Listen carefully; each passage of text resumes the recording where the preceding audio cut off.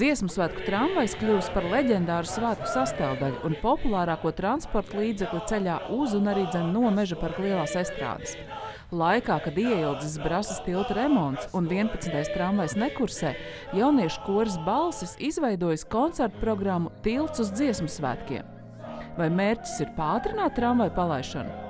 Protams, pareizi un tā pozitīvi ievibrēt gan pašu tiltu, gan arī nu, darbiniekus, lai tomēr pagūst. Es gan dzirdēju, ka ir atrasts kaut kādas senais bruģis, bet nu, arī tad es ceru, ka tie, kas atbild par tām visām izpētēm, ātri tiks galā. Nu, uz dziesmu svētkiem tramvajiem jābūt. Sanāciet, sadziediet, sastādāt soļie, šai saulē, šai zemē, šai Pēc kora balss izsludinātās aptaujas populārāko tramvaju dziesmu saraksts izveidots vareni plašs un daudzveidīgs.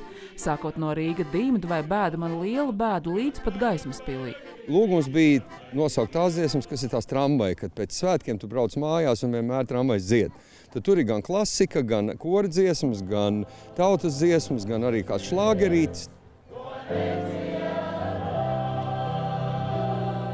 Brāzas tilta skvēriņā brīvdabas koncertā dažādu tramvaju pieturas stāstus starp dziesmām atklāja aktieris Artis Robežnieks, jo tieši viņa balsi varot dzirdēt tramvajos. Neatņemama dziesmu svētku sastāvdaļa, kad tu jau pēc pusnakts dodies ar tramvaju uz Rīgas centru, lai tad jau nu, tālāk nonāktu savā mītnes vietā, kur ir pārlaista nakti, tad tas ir pa, pats pacelājošākais gandrīz vai brīdis pēc tās lielās sadziedāšanās estrādē. Jums pašam tādā mirklī ir iespēja uzsākt dziesmu. Kura tā ir?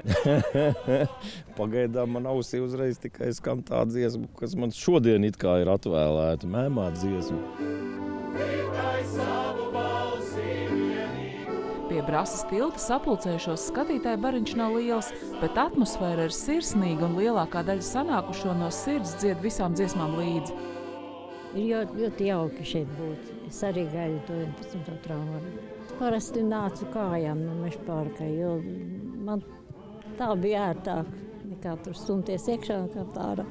Es esmu vienmēr bijis dejotājs dziesmu sākos, un, un draudzene stāstīja, ka tur vienmēr ir viskaistākais dziesmas, skaistākais moments, un tāpēc mums obligāti jānāk apskatīties, kas šeit šodien notiek. Pirmais mums tāds atvērtā tipa koncerts. Mēs iesildāmies dziesmu sāku koncertam, uz kuru cerams dabūsim biļetes.